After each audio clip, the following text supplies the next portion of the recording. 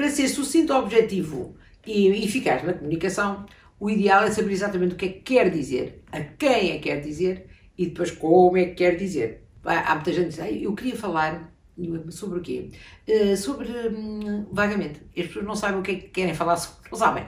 É ter uma ideia, querem falar, mas não sabem sobre o que é que querem falar.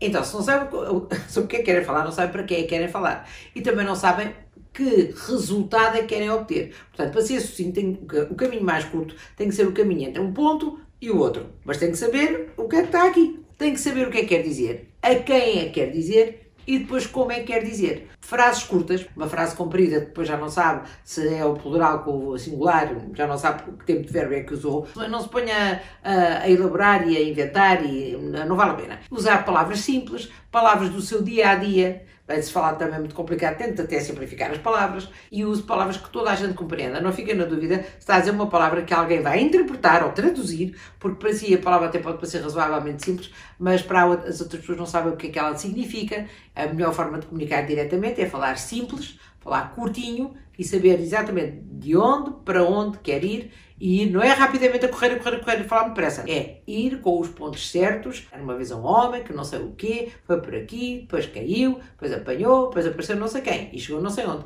Tem que saber os pontos da sua história para chegar à última linha e as pessoas se rirem daquilo que quer dizer, ou seja, aplaudirem.